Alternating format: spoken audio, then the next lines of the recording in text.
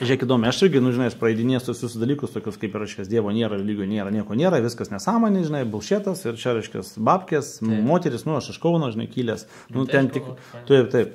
Ir, ir dar tais laikais, tai tas postsovietinis, ta tarybų sąjunga, ten, žinai, 74 gimimo, nu, tai, žinai, tai pakankamai senai. Aš 91 mokyklą baigiau, 91.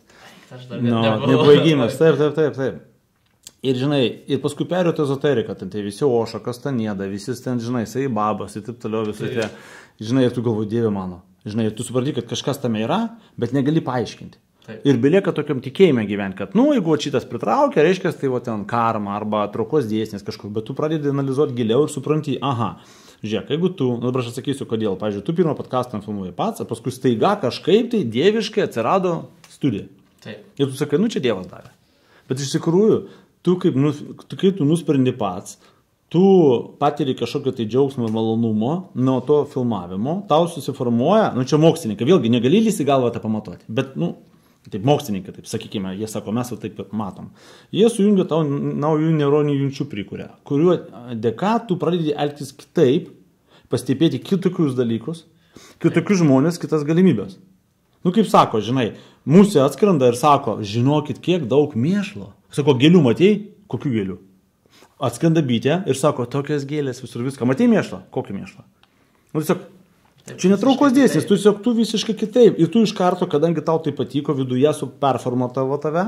Ir tu sakai, wow, ir tu staiga, o, kažkas čia studija, pamatėjai, pastebėjai. Jis buvo visada studija, čia stovėjo iki tavo, ten gimimo gal jinai buvo. Taip. Bet tu niekada neteitų galvą, nes tu nepasikeitęs buvai. Ir todėl gaunasi tas, kiti, kas netiki dievų, jie paaiškina, va taip, neurofiziologija. Žinai, tarkim, kad tu pasikeiti, transformuojasi ir tada tu pradedi kitaip elgtis, gauti kitokį rezultatą. Ir nėra jokio dievo. Taip. Kiti, kas nu, mėgsta tą va, dievo Dievą, tikėjimą, kad, nu, ai. taip lengviau, kažkas didesnis yra, kažkas mane myli, jam taip, nu, jam taip smagiau gyventi. Ir tada jisai sako, o, matai, dievo valia. Nepasisekė, dievo valia, karma, pamoka, pasisekė, nu, reiškia, kažką gerai padariau. Kaip tu manai tokius dalykus, pavyzdžiui, kai užrašai kažką, pavyzdžiui, esu matęs, kaip e, vienas toks tam tikras verslininkas e, pasakojo e, užsienyje, sako, aš norėjau pritraukti tam tikrus žmonės ir, nu, visada einu, einu, niekur aš vat, nepritraukiu, niekas neatsitinka man, geri dalykai ir taip toliau. Ir jisai sakė, jisai uh, Anthony Robbins užrašė ant lentos, paskui užrašė dar kelias verslininkas, mhm. sako, aš einu, einu dieną tenais, jisai kažkur ten ir sako, pystą šį pamatau. Mhm. Prieinu, susipažįstu, ta prasme, sako, va taip aš pritraukinėjau žmonės tam tikrus momentus. Tu tiki tuo, kad realiai e, plunksnos gale realiai gali pritraukti daug dalykų. Šimta procentų. Nu, aš giliai ezoteriką, tai irgi, tarp kitko, rašymas tikslų, žiūrėk, a, mes žmonės mokam materializuoti. Taip. Tai yra svajonę, idėją paversti apčiopiamu. Nu, tarkim, noriu pastatyti namą, ten šeimai, ne? Taigi čia pradžia idėja ateina. Ir po to pradeda kas veikti veiksmai, ten taupyti, pirkti žemę, dar kažką, nežinau, mūryti, nu kaip kokie, žinai, kas kažkas ten mišką gal kapoja ir rastų pastato. Reiškia, mes galime materializuoti. Koks tarp idėjos ir to pirmas materializacijos žingsnis - materialumo. Materializacija tai yra materialumas. Nors gal čia ne viskas lietuviškai kalbu, ne viską, bet tai yra peštukas, tušinukas, jisgi materija. Ir tu tą materiją rašai. Tai yra pirmas mate... jo, brėžinys, tai yra pirmas žingsnis link materializacijos tavo svajonės. Ir todėl, jeigu nerašo tikslų, nu, nėra jokio sąsajo. Tai aš galvoju, o kaip būtų gerai namą. Tai bent kažką, nuotrauką padaryk, nežinau kaip būna ten vizualizacija, jo padaryk, bet tu padarai nuotrauką, tai yra pirmo, čia ezoterika. Nes, nu, kitam pasakyti, nu ir ką, kad aš čia pripaišiau, aš galiu prirašyti. Ten giliau įsijungia dalykai, žinai, ar tu tiki, ar tau užsidega ugnys, kiti kabina nuotrauką, žinai, dėl ko, dėl to, kad kai tu eini, į tavo pasąmonę tavo nefiksuoja. Nu, žinai, 25 kadras, tu žinai visus dalykus. Jo yra, kur ten kaip samokslo teorijas, Taip. ten multikai tie visi su visais. Nu, žinau visus tos dalykus, žinai, vis nedaug žmonių mokinių ateina iš viso pasaulio. Nu, viską, ten masonai, kad tik nori, žinai. Ir, ir, ir tu eini, ir tavo akis, jo, jos per jas pataiko tavo į smegenis. Tu nori, nenori. Ir tai yra įtakos irgi, vat, e, e, aplinkos įtakos gale, kad tu, tau nesvarbu, tu sėdi še ir tu po truputuką tapsi še. Ir atvirkščiai. Pozityvus ar dar kažkoks. Ir tos nuotraukos kaba, tu vaikštai namie, vaikštai, vaikštai, vaikštai, tavo sąmonės įeina, įeina, įeina ir smegenys pradeda dirbti kaip kompas, ieškoti, tai realizuoti. Ir aš tą patį esu padaręs, susirašęs, daug, daug pavardžių, nu kaip daug, to, ko norėjau, tokio lygio kaip Bilas Geitsas, jo, pavyzdžiui, ir aš per vieną žmogų pažįstu jį. Per vieną Taip. žmogų, kur aš taip galiu, labas, kaip sekasi, ir jis pietauja su juo. Pavyzdžiui, ten yra lietuviškų kai kurių žmonių, verslininkų, pradėjau ten su vienu sportuoju, sveikinsiu, gal ten irgi interviu padarysiu. Aš neplanavau nieko, ir čia ta mistika, kurie nesupranta žmonės. Bet man veikia asmeniškai taip. Aš neturiu galvoti, kaip tai pasieksiu, nes visos mano svajonės, kur aš susirašiau, aš pasiekiau, bet ne taip, kaip aš galvoju. Ne viena ne taip, kaip aš galvoju. Nu, tipo planas ten, tarkim, noriu mašinos. Nu, tai kas ateina? Per protą. Nu, tai reikia sutaupyti, ras darbą, jo. Aš sakau, "a, nesvarbu. Nu, nu, nesvarbu. Ir paskui, aišku, susidėlioja, bet niekada... Bet visada sudėlioja realiai. Būtent, jo, bet žinai, kas yra koks dalykas, yra vienas instrumentas pas mane, viskam sakyt taip. Vat man ten komanda suderino interviu su tavim. Aš ne, oi, žinai, okei. Okay. Nes, nu, kaip tu sakai, jeigu visą tą uždraustų, pažiūrėjau, nesutiksi, nu, nesutiksi. Bet tai tu manai viskam sakyti taip yra gerai? Realiai viskam taip. absoliučiai. Bet pradžiai, kai sukoreguot gyvenimą, tau sakys parūkyti, kas seka. Tai čia klausimas, žinai, prisigert šnapsų arba ten acetono pavostyti. Nu, matai, aš, nu čia reikia gerti. Kvačiai, tu geras klausimas tavo, tai dabar ką, man sakys, važiuot pas tave ar gertalų? taip. Nu, žinai, nu pavyzdžiui, ne, ten dabar aš važiuosiu po, po, po e, podcast'o, važiuosiu į, į gimtadienį duterėčiau, žinai. Galiu sakyti, tai ką čia važiuoti? Ne, aš ir taip čia ar ten.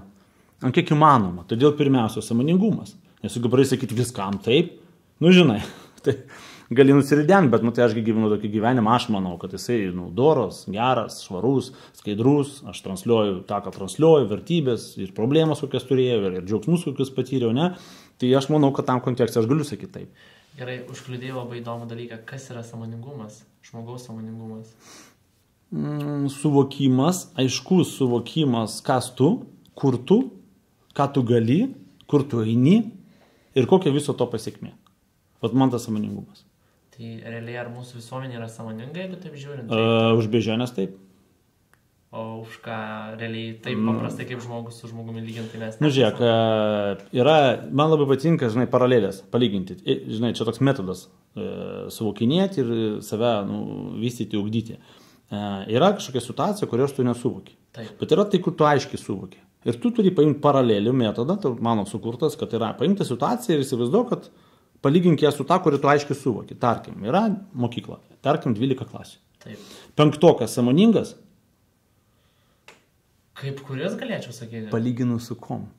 Su pirmoku, Taip. Su dešimtoku? Ne. Mažiau. Ir va čia yra kova visokia, kur yra absurdas. Tai čia įrodymas, kad mumis manipuliuoja, kai va kursto, karus, rasius, jo, religinius. Čia kursto, nes iš esmės nėra blogų gerų žmonių. Nu, tarkim, nužudžiau dešimt žmonių, o kitas vieną. Kas, nu, nu, tai blogiau dešimt, nu, kaip, nu, kariškiai, pavyzdžiui. Ne, nu, pas juos gal tai yra gerai, kad daug nužudė, ten iš jūs kraizė, kosmosas, man didžiausias kosmosas. Kas vyksta, ne pasaulyje pas mus, nu, kosmosas, kitiems net patinka tai daryti. Bet iš esmės, reiškia, yra, nu, viskas, vat, kaip matas. Jo, čempionas, aukso medalis ir sidabro. Tai sidabro ką, lohas? Bet visgi dalį sekundės, ja? Bet jų net nežino pavardės niekas, ne? Au, aukso medalį žino. Nu, suprantate, įsivaizduoju kaip įdomiai. Todėl samoningumas, būtent šitas dalykas, ne jokios utopinis toksai, kad ten matymas kažkoks, praeitų gyvenimų, dar kažką, čia yra įgūdžiai, čia yra instrumentai, čia yra kažkokie tai tavo sugebėjimai išvystyti per, tam, pavyzdžiui, praeitus gyvenimus, per tavo patirtį šiame gyvenime, tau reikalingi įgūdžiai, kuriuos tu gauni iš dalies, genetiškai, pats sukūri, aplinka tau suformuoja, nu, daug labai visko. Nežinau, ar atsakiau, bet. Taip. Įmanoma kažkaip patikrinti pačiam žmogui, pavyzdžiui, tarkim dabar žiūrovas, kuris klausosi arba žiūri, ar jisai yra sąmoningas šiuo metu. Nu, sakau, man labai sunku atsakyti, aš kaip mokslininkas, suprantate, aš, aš turiu, turiu, turiu statistiką, reitinguoti, žinai, nu, kas yra sąmoningas, nedaro kelnes, tai čia jis sąmoningas ar nesąmoningas, žinai, ar suvokia, žinai, kaip, kaip nustatyti. Kokio, duok man kriterijus, kas tau reiškia sąmoningas žmogus, ir tada mes pažiūrėsime. Nu, pirmiausia, man atrodo, sąmoningas žmogus, kuris laisvai gali priimti sprendimus tam tikrus. Aš manau, kad sąmoningas žmogus, kuris, a, kaip pasakyti, yra atviras daug dalykų. Man turbūt vienas iš... Bet čia laisvas, čia atviras, čia kitos savokos. Nes, nu, man, pavyzdžiui, tarkim, samoningumas yra vienas iš kriterijų, tai yra, tarkim, kai žmogus gali daug dalykų, tarkim, klausytis ir priimti juos ne taip, kad va šitas yra tai šūdas, bet va šitas mhm. tai yra mano tiesa, kuri, kuri vienintelė yra tiesa, ta prasme. Nes aš manau, kad tada tas žmogus yra tam, tikr, tam tikras sienas pasistatę savo ir jisai nebemato nieko. Ir tada manau, kad žmogus tampa toks, kaip pasakyti, zombis, realiai tos tiesos. Taip, taip. Ir jisai, kaip aš labai mėgstu labai savo, lankstus mąstymas, kad, ta prasme, kad tu kiekvienoje situacijai gali būti lankstus, o Mhm. ne tik tai stoj, kurioje tu esi teisus realiai. Nes tada, kai tu tenais ateini, tai tau visi bukie atrodo, šitas debilas, šitas Nu, debilas, taip, šitas taip, debilas. taip, taip. Nu, aš sut- sutiksiu, nes tai yra iš tikrųjų visuomenė, va tokia yra nuomonė apie tai, kad tu niekam, nu, tarkim, tu, nu, kaip tu sakai, mąstantis, kas yra mąstantis, tau sako žemė keturkampa. Ir tu nesakai, debilas, tu sakai, nu gal. Nu, tarkim, nu, nu kodėl ne? Nu, mūsgi daugybę kartų jau kas sakė tiesa, tai jau dabar netiesa, arba atvirkščiai. Nu, taip. Mokslas, ne, išradimai, sakė, tas kenkia, o dabar pasirodo tai gerai, arba atvirkščiai. Tu žinai, kad anksčiau vaistinėse pradėdavo opiumą, heroiną, taip Taip. toliau, kaip nuskausminami. O dabar mes sakom, kad tai yra nu, narkotinė medžiaga, pripratimas. Tai dabar tada buvo gerai, dabar blogai. Kom tikėti? Tai va samoningumas, kad tu garsini žmogus, kuris mąstantis. Žinai, ir, ir visuomenė vadina, kad sako, o samoningas, žinai, o jį neužkabinsi, jo, tarkim, ten neižeisi, ne, a, nekaip net ten nepanimuliuosi, jisai masto, jį neprigausi ant žodžio, ne, jam dem nesakysi, va tą ir gins, puls, sakys, draskys. Visuomenė laiko taip, kad tai yra nusamoningas. Nu, aš manau, kad tai yra turbūt. Homo sapiens. Jo, samoningumas tai yra aukštesnis suvokimas, aš manau, samoningumas yra aukštesnis suvokimas.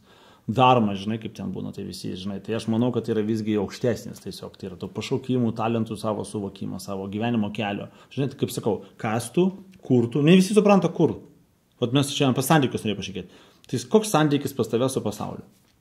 Jis tau gražus ar baisus? Tu jį suvoki, tu moki jame gyventi, tu gerai jame jautiesi.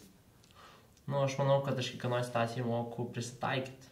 Bet jis tau patinka, tau, nu, gerai čia. Patinka. Lengva. Patinka, nes aš realiai kuriu tą pasaulį. Nu va, tai tu pas tave santykis su pasauliu ryšys geras. Pinigų, pavyzdžiui, tu užtenka, kiek tu turi. Ar norėtum daugiau? Čia jeigu taip atvirai, tai Nu, tai- norėčiau daugiau, bet ta prasme, realiai jeigu taip lyginti, kad kažkada vaikystėje aš jų beveik neturėjau, aš man pas mane buvo sunki situacija ir realiai dabar kokią aš esu progresą padaręs ir pats susikuriu savo tos finansus, tai aš tikrai džiaugiuosi už save. Tu už progresą dėkingas, bet jeigu, tarkim, tu ten, nežinau, turi 10 kažko, o norėtum 30, reiškia, pas tave santykis su pinigais nėra geras. Taip. Ir mes, kaip žinai, man sako, santykių specialistas, taip, plačiai prasme, aš sakau, ką reiškia plačiai, sakau, jums tai santykiai žmona vyras vaikas.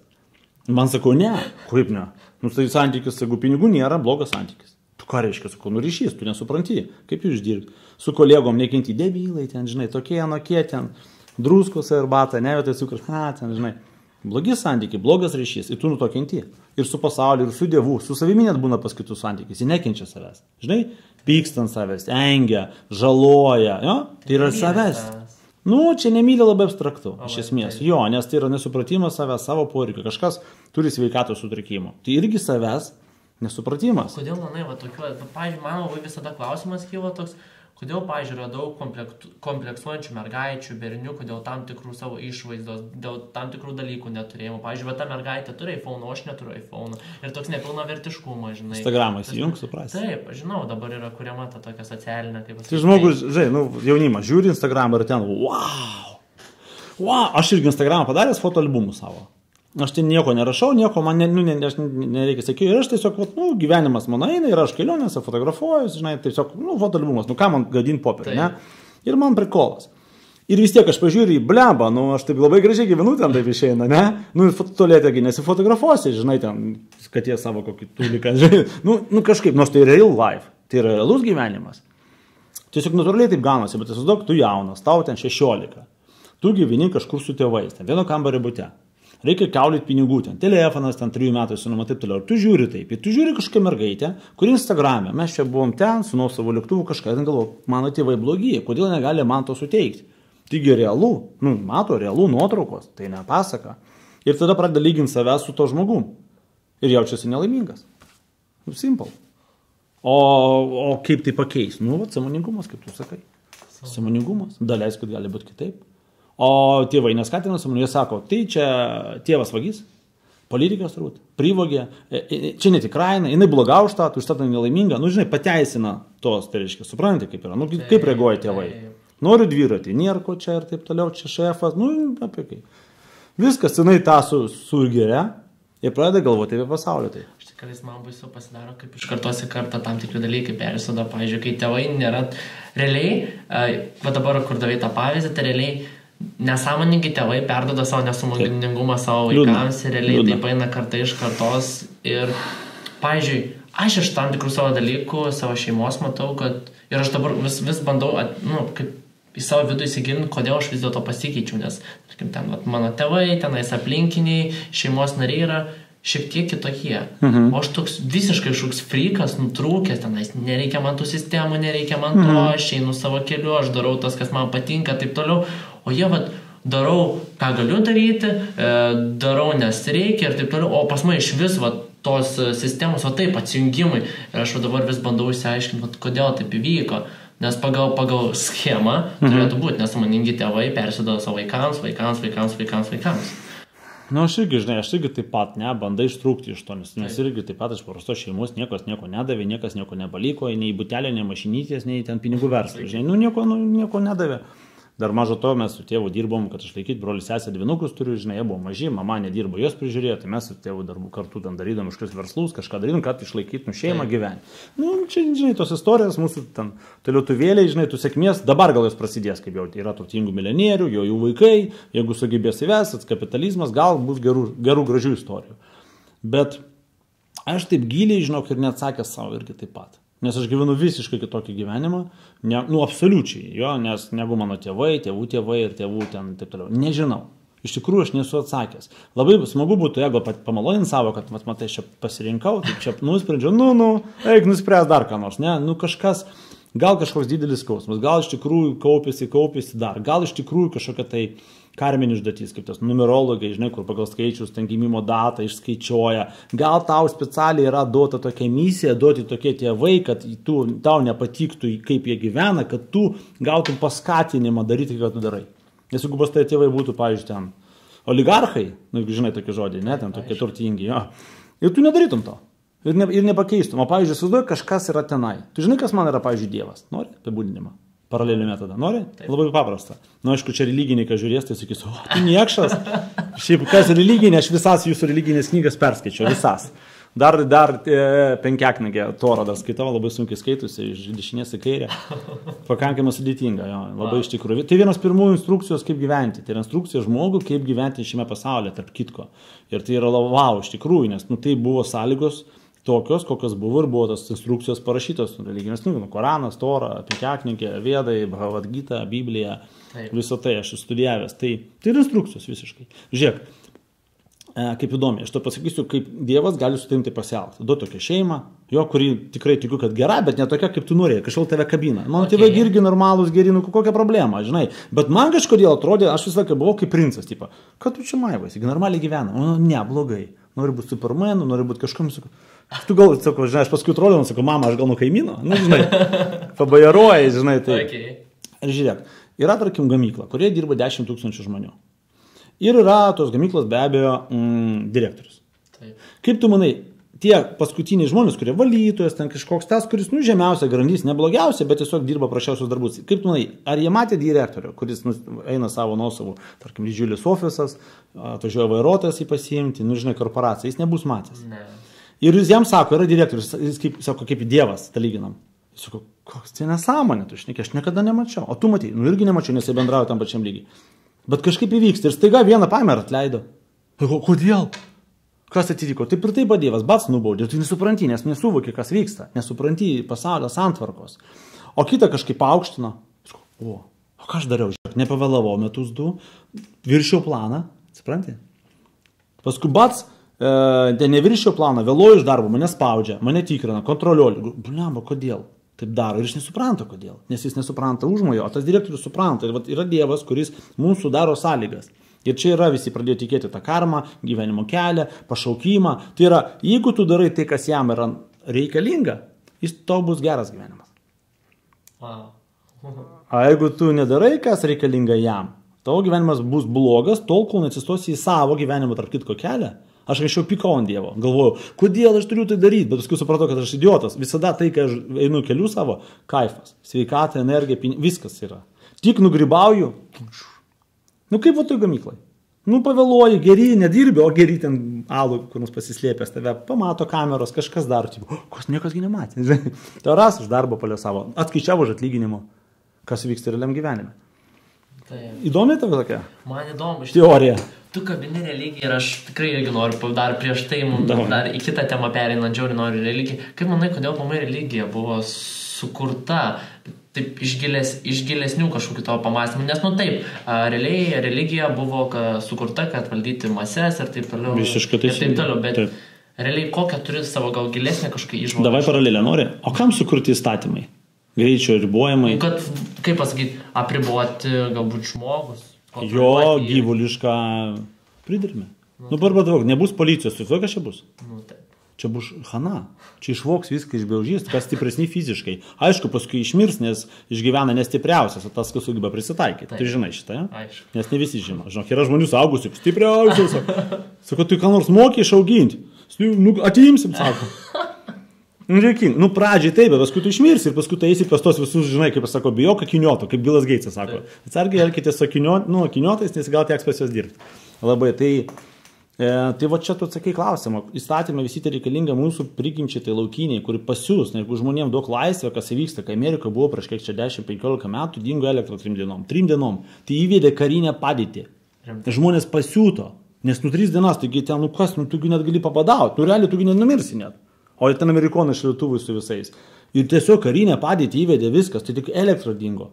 Nedingo vanduo, net ne, ne kažkoks užterštumas, ten, žinai, dar, dar. Tiesiog, nu, vat, elektra dingo, žinai. Ten New York'e kažkur tam, ar Illinois'e. Todėl, todėl iš esmės tai yra sukurta. Aišku, žmogui, kuris nesupranta šitų dalykų, kuris nori meluoti, vėluoti, apgaudinėti, nedirbti, manipuliuoti, išduoti žmoną, nedirbti savo pareigų atlikti, tarkim, ten, jeigu ateina į darbą ir nėra šefo, tai jis nedirba, žinai, žmona išduoda savo kaiminę. A, jeigu apsiskaičiuoja kasininkį, jis netiduoda ją apskaičiavimus, džiaugiasi, durnė. Toks žmogus, jis aišku, nenori, kad jį valdytų. Pažiūrėk, žmogus eina į darbą su kameros pamato, šiandien dirbsiu, sako. O kodėl? Tu, tu kaip tik jeigu žiūri, kaip tu gerai dirbi. Nu, logika. Taip. Ir mes net filmuojame specialiai.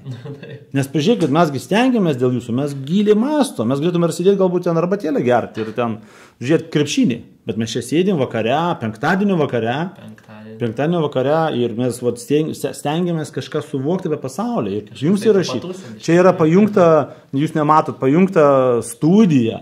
Yra dar be, be mūsų, dar yra du žmonės. Kameros, tai viskas, nu, suzuojat. Čiagi ne šiaip bairis.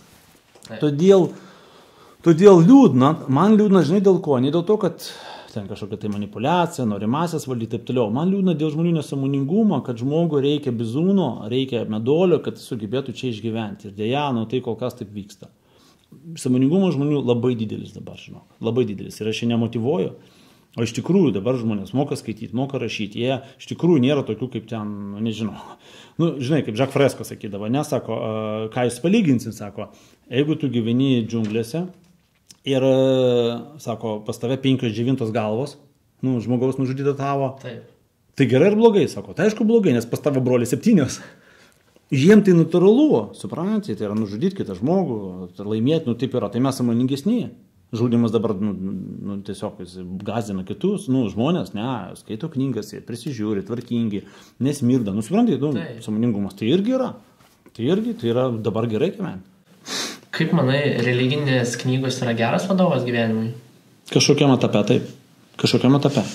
Tik tais, o koks tai etapas, ar tai pagal patį žmogų turėtų būti? Žinai, kaip aš sakau taip. Problema, kada priemonė tampa tikslu. Tikslu. Supranti, gali būti religija tikslas gyvenimo, tai yra problema. Religija sukurta gyventi gyvenimą, gyventi geriau gyvenimą, išmok gyventi gyvenimą. O kiti padaro religiją, darbą, karjerą tikslų gyvenimo. Net karjera taip pat, tai ko- koks tikslas karjeros? Ugdyti tavo asmenybę, tapti geresniu, nešti naudą žmonėm. Tai va, religija yra puikus instrumentas kažkokiam gyvenimo etape, kai tu sakai, viskas yra, nu, tu toks, sakykime, ten nu kaip pasakyti, netoli nuo bežionės, nenori nieko įžeisti, jo, ir tu atrandi savo religiją ir sakai, o, o galbūt iš tikrųjų aš ten galvojau, vagiau, dariau, nu kažką melavau, pasirodo viskas numato. Nu gerai, gal ne karma kažkokia, ne, kaip ten aš pats, bet va, Dievas, ir tada nu, tai samoningumą didina, nes tas žmogus gal palaukti, gal aš nemelosiu, gal paskui man ten bus pragaras, ar karma, ar ten dar kažkas, ar aš ten reinkarnuosiu į vabaliuką, dzembudizmę, ten, žinai, tarakoną, dar kažkur žolę, nu, visokios.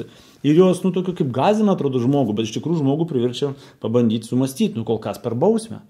Tavegi baustų, tugi tai neskatintų. Tavo samoningumas didelis. Taip. Man irgi neįmanoma pagazdinti niekom, tiesiog nėra, nerealu, žinai, tai nieko neišgausiu. O yra žmonių, kurių per baimę tik tai, tai jų samoningumas žemas. Nu, kaip... Man labai nepatinka, žinai, kai sako, kad jeigu va, tu dabar va, toks ir toks ir toks pusė, tai tu keliausi arba į pragarą, arba į rojų. Man, tas, man tas toks, nes tave į, kaip pasakyti, įstumė į tokią sistemą realiai, kad tu niekada negali būti, tarsi, priešintis savo, kaip pasakyti, žmogiškai prigimčiai, kad turi visada būti, tarsi, geras, kad turi su visais žmonėmis būti labai geras, niekada negali rodyti hujovos nuotaikos, niekada negali... Niekada, Ai, šitą pusę, aš galvoju apie pragarą, aš nekyžinau, tai kaip, arba juoda balta turi būti. Ne, tai juoda balta niekada iš vis nėra, čia yra utopija, čia žmonės, čia vėl mažas samoningumas. Arba juoda arba balta, nėra taip, yra taip. Įsivaizduokite, kad pragaras rojus, tai galbūt, gali būti, kad tu metus pragare ir dvi dienas rojai. Taip. Gali būti. Taip iš tikrųjų tikriausiai ir bus čilas. Taip, oh, žinai, kaip anegdotas yra apie pragarą. Nu, reiškia, kaip jis vadinasi tas, nu, žmogus, reiškia, nu, kaip geras, kaip jis šventas. Nu, žodžiu, žmogus ateina ir sako, gali rinktis, tu labai gerą gyvenimą gyvenai, super. Nori rinktis, kur nori gali. Tau neskaistyklos, skaistyklos nereikia, sako rinkis. Tas sako, o ką rekomenduosit, sako, pragaras ar rojas, žinai. Tas, nu, sako, kaip, sako, nu, rojas, sako, klimatas, sako, super, žinai. Bet pragarė žmonės įdomus. Nes, nu, žinai, nu, tu įsivaizduoji ir pataikai tenai, ir ten žmonės, nu, kurie ten, nesakau, kad ten žudikai, kažkokie maniakai, ten, žinai, kur. Bet iš esmės, nu, įdomu, žinai, ten, turbūt. O ten, pavyzdžiui, įsivaizduok, tai sėdėjo, meldėsi, pavyzdžiui, žolytę valgė, o ten ryžius. Ir ką su juo kalbėti? Nu, nu, aš mes, aišku, žmogiškos prizmės žiūrim, žinai, čia. Kas ten žino, kaip yra, sužinosim, aš tikiuosi. Visi mirsim, tai sužinosim tikriausiai. Tik ir reinkarnacija. Nu, taip, aišku, be abejo. Be abejo, bet aš ne tik, tikiu, matai, aš įsitikinęs. Nu, nes aš irgi iš tikrųjų. Nes, nu, aš tikiu tom, kad realiai mūsų kūnas yra laikinas, siela eina, eina. Bet tu ir... tiki. Nu, kaip pasakyti? Ar tu turėjai mistinių patirčių? Ne. Nu, va, tai tu tiki. Tikiu. Jo, aš vad nemėgstu tikėti. Kartais tenka, nu gyvenime tenka tikėti, ypač pradedant naują projektą, ne, nu tu nežinai, tai pavyks. Taip. Ne viską gali paskaičiuoti. Aš, ne, aš labai nemėgstu tikėti. Aš labai nemėgstu ir vieną iš mano tokių, va, aš ten tokį irgi įrašiau video tokį, nu, ten gyvybė pasirodys. Viena iš tokių dalykų pas mane yra, to, kad aš, aš niekada nebūsiu su žmonėmis, kurie tiki. Bet tiki taip, žinai, kaip ten, kur gali patikrinti.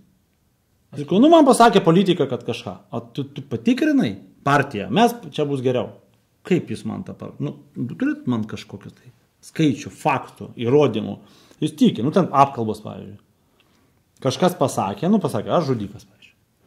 O, viskas, Evgenijų nekviesiu. Yra tokių žmonių ir jie tiki visą laiką ir jie visą laiką apsigauna.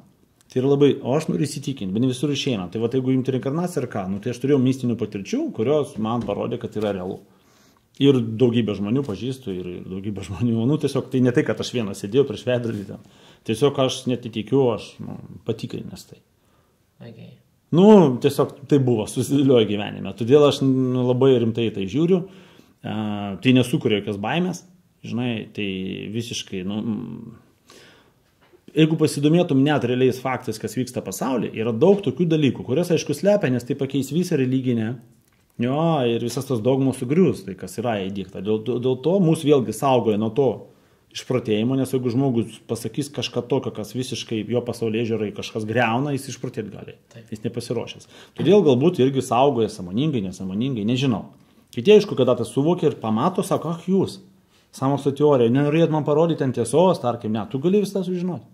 Niekas neturi važiuoti kur nors ten į Indiją, nežinau, į Peru, kažkur, patirti kažkokius potyrius, kažką dar pamatyti, įsitikinti, sukurti grupę, visiems padaryti kažkokius tyrimus, testus, aš kurdavau grupės, testus, tikrinom tą regėjimus, žiūrėjimus, kaip ir jeigu dešimt žmonių tą patį mato, nesusiję, ne kaip ir net nepažįstami, tai Jeigu tai neįrodymas, tada nežinau tada, kas yra įrodymas. Žinai. Plus pradėjau domėtis realiais faktais, laikrašiai knygos, kaip ten vaikai kokie nors, ne, ten, ten gimsta, prisimena, atranda, kas nužudė praeitam gyvenimui, nu, ne praeitam, bet tai. kažką ten šimtą metų tai yra užfiksuoti realūs, dokumentuoti faktai.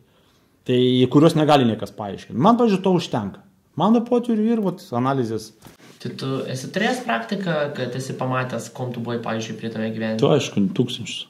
Taip. Tai negazina, tai negali išgazinti, pavyzdžiui, žmogaus. Nu, gazina taip, jeigu jis turi lūkesčių. Nes aš žinau patirčių, kaip, pavyzdžiui, žmonės nueina į tą būseną ir jie nenori iš jos išeiti, nes jiems faina tenais. Nu taip, nu, jeigu tu, pavyzdžiui, koks ten karalius buvai, -huh. jo, ar tu ten skardai. Nu jo, bet tai čia matai, Čia, žinai, kai vyksta tada, kada naudojamos praktikos, magija, kada žmogus nepasiruošęs. Negalima už per protą norėti kažko to. Aš, o aš noriu va taip, kad būtų. O kodėl tu taip manai? Ir jis negali paaiškinti, o kodėl man negalima, žinai. Nu, tai turi būti, nu, čia labai sunku paaiškinti. Tai turi ateiti savaime, turi gyvenimas tave nuvesti tai. Ir todėl ir lengvai gautis gali. O žmogus, žinai, nu, netinkamas metodais tai daro, privartauja save. Jam jis nepaklausė, ar man reikia tai matyti ir žinoti. Ar reikia man, ar aš to atėjau čia. Jis sulaužo tą spyną, nu ir ieško išneša. Faktas. Nu, supranti, nu neleidžiama, nu žinai, neleidžiama, nu negalima. Nu kaip penkių metų vaikas, sako, duok tėtė raktus mašinos, važiuosiu. Nu tai Nu, tai suprantate, tai yra, nu, nerealu, nu, tiesiog jisai, nu, jeigu net ir pavažiuos, tai kažką pridarys blogo. Tai va čia tas pats, ir žmonės susižaloja, ir jie, aišku, patys kalti. Arba, jeigu tai yra, nu, nežinau, su vaikais taip nebūna, nes vaikai neturi ribų, jie nieko nebijo. Jo, dėl to jie, jie iš vis, jiems viskas laisvas protas, žinai. Nu, tai, nu, čia plati tema tokia, nežinai, tokia sudėtinga pakankamai, sudėtinga. Okay. Tai gerai, tai pradžią tokią neblogą padarėm. Mhm. Naikime prie pagrindinės temos, kurią norėjau šiandien pakalbinti tave, būtent tai e, santykiai. Ir santykiai labiau iš tokios pusės vyro ir moters. Mhm. Bet prieš tai pradžią išsiaiškinam pačią savoką, kas yra santykiai. Gerai, arbatą galim atsigerti, ne? Mhm.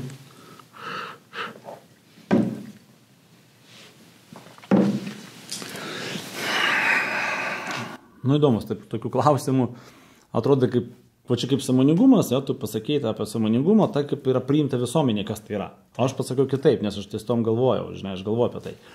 O vat kas yra santykiai, žinai, nu, čia labai įdomi. Taip. Nes santykiai tai yra, nu, tai, tai yra ryšys, nu, tai yra du žmonės, kurie turi kažkokią tai ryšį. Ne, nu, kaip pavyzdys, jeigu vyras moteris, tai yra pora arba žmona vyras. Viskas. Ir kas tai yra tas santykis? Ui, čia tokia tema. Ašgi kursų nesu kūręs ir ten turbūt per 5 procentus pasakau, ką reikia.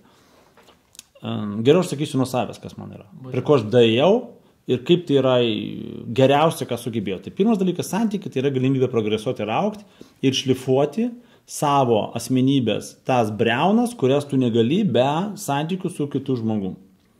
Jeigu mane karjera mano kažkokia tai, ne, darbas padaro mane geresnių žmogumi toj karjeroj, sportas mano fizinį kūną, mytyba mano savijautą, ne, ten meditacijos ar kažkas, ką naudoja mano jo, dvasinė vidinė būsena, knygos žinios mano protą lavina, ne, nu supranti. Taip. Tai vad santykiai lavina tą ryšį, tą mokėjimą komunikuoti, tą mokėjimą užjaus, mylėti, rūpintis, nes žmonės to nu, nemoka. Žinai, pagalvojus, nu vaikus ten atiduoda, išmeta, aš iš vis nesuprantu tokių dalykų. Arba dar ką nors, nu žinai, visokių tokių dalykų kosminių kažkokių daro, ieškės jie neįgavo to įgūdžio per santykius, tai tiesiog pas musgi, pažiūrėjau, mokykla, nemokina santykių, verslumo, pinigų, finansų, nieko realiai, aš nežinau, ką mokina. Tiesiog kosmosas kažkoks. Tai ir, ir todėl man santykiai yra va tai. Ir santykis išplėsti, tai visi kiti žmonės irgi taip pat. Aš galvoju, ką, ką matėjau jisai per mano gyvenimą ir ką aš turiu dėka to išmokti. Realiai, ir aš taip žiūriu. Ir mane žmona mokina pozityvų, nu, jinai antipodas mano. Aš laiką rimtas, visą laiką nepatenkintas, ilgai užtruko laiką supras, kad pasirodo aš nepatenkintas ne dėl to, kad aš nelaimingas, dėl to, kad man toks psichotipas. Taip. Nes man visą laiką mažai, aš noriu labai daug, jo, darau daug, visko darau, ir jie, o jinai visą laiką laiminga. Žinai, aš ne kartą ne, nesu pabudęs ryte, kad nesi iš viso to man. Nėra man ne vieno ryto. Įsivaizduoju, jo, ant kiek, vat, nu, nu, ne, nebuvo, kad Mama lago nuotaika, nu nekart nebuvo. Wow. Jo, tiesiog, aišku, aš jau ilgai prie to, žinai, aš save ir aš supratau, kad jeigu aš nebūčiau keitęsis, nebūtęs toks, koks esu, aš nesutikčiau tokio žmogaus. Tai yra nerealu. Nu, tai kaip tu gali sutikti, jeigu tu ten, žinai, nu. Todėl santykiai, santykiai yra va, būtent, būtent tai, plačiaja prasme. Jeigu žemiška prasme, nu tai aišku, kad, kad man vyras žmonos santykiai tokie, kad žmona darytų tai, ko nenori aš daryti O aš daryčiau tai, kai nenori jinai. Nu, pavyzdžiui, rūpintis finansais, ten tos, visais. Aš nenoriu būti įmy, ten vaikais, ten, nežinau, katėm ar ten šunim ar kažkom. Nu, kaip pavyzdys, pasiskirstimas pareigų. Ja? Toliau man santykiai labai svarbus dalykas, man nepatinka puselės. Puselė tai yra, žinai, pas ką pašykna ir pasmegenis. Ja? Čia Rainė, Rainėvska pasakė Faina. Klasika tokia, žinai. Ir e, man patinka tik pilnos, pilnos asmenybės. Pas mus dažniausiai traumuotos asmenybės. Reiškia, man vienam sunku, reikia surasti bobą. Ja? Arba man vienai sunku, reikia tą dėdą vyrą kažkur surasti, bent bus lengviau gyventi. Tu sužalotas, nepilna asmenybė, nerealizuota finansiškai visai ir tu ieškai, tu suprasti tokį patį. Ir jūs bandot kompensuoti vienas kitą. Nu, ne jūs, bet, žinai, žmonės bando kompensuoti. O kai tu pilnas, Tau be galo sudėtinga su kuo nors sueiti, nors tu pilnas. Suprantate, pilnas, tarkim, man nieko netrūksta, man jau aš laimingas, man gerai, finansiškai, visai, realizuotas, toliau. Mano žmona irgi tokia pati. Jai iš esmės nu, kaip ir nereikėjo vyro. Jau viskas ok, nu, turiu savo veiklą, savo karjerą, savo viskas kaifuoja. Nu, tai daug sunkiau sueiti šitiem dviem gražiem, sveikiem žmonėm pilniem, negu tiem sužalotiem. Nes sužalotas tu turi problemą. Nu, padėk man. Nu, žinai, supranti kaip. Bet taip išeina, kad tarkim niekada nebus tada, nu, gal kartais bus, bet tam tikra tokia tendencija, kad vienas pilnas, o kitas puštuštis, tai realiai... Aš nemanau, kad, žinok, bus vienas pilnas, kitas puštuštis. Nemanau. Nu, nesueis tokie žmonės. Nesueis visiškai. Ne, ne. Nes tada reikės tam pilnam, ar moteris ir vyras, 3-4 tų pustuštį. Okay. Nu, taip yra, nes tugi, nu, viskas energetinė mainai. Čia energetika, čia nėra kažkoks ūgis, svoris, čia nu, ne tai. Tiesiog, nu, nesueis. Bus arba du pusi, pusė, nu, pusiniai nepilni, arba du pilni. Okay. Labai trumpai pakalbėkime šiek tiek apie vyro ir moteris prigimti realiai. Taip visiškai trumpai realiai, mm -hmm. ką turi moteris daryti, ką, ką realiai. Bet kokiam kontekste?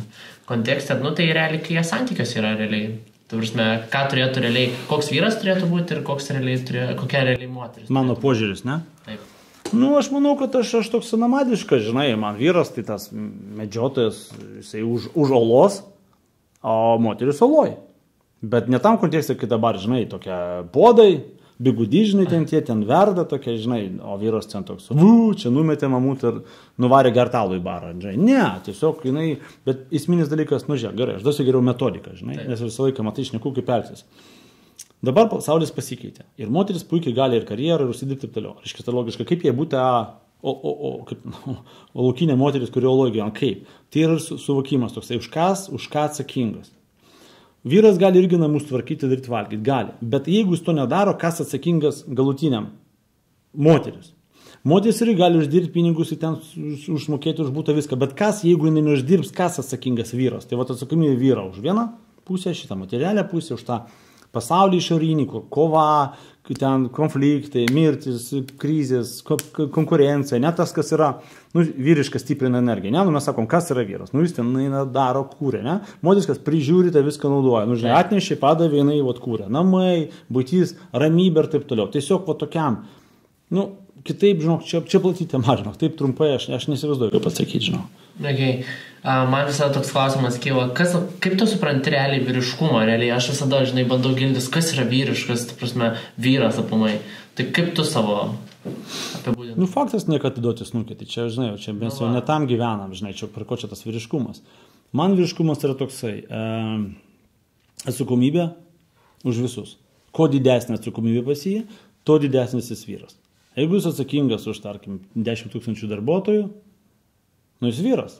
Jis dominuojas lyderis. Nelogiška. Jeigu vyras sako, a, žmona užmes kanalaus, jis ne vyras.